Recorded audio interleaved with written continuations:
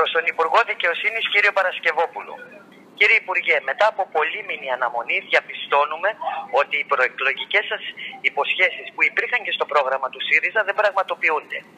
Το πρόγραμμα για την αποσυμφόρηση των φυλακών δεν ευδοκίμησε με τις διατάξεις των 2 πέμπτων έως 10 έτη και ένα τρίτο κλειστό από 10 και άνω.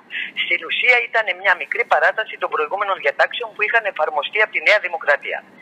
Σας ζητούμε να υλοποιήσετε τις υποσχέσεις σας ώστε το 1 πέμπτο να υλοποιηθεί έως 10 έτη φυλάκιση και το 1 τρίτο από 10 και απάνω να είναι μεικτό με ημερομίσθια και ευεργετικά. Είναι άδικο να εργάζονται με κόπο και πόνο οι κρατούμενοι και αυτό να μην υπολογίζεται στην ποινή τους. Η αντίδρασή μας είναι αποτέλεσμα κόπωσης από υποσχέσεις που δυστυχώς ξεχνιούνται μετά από τις εκλογές. Ο αγώνας μας θα είναι ήπιος, πολιτισμένος αλλά δυναμικός.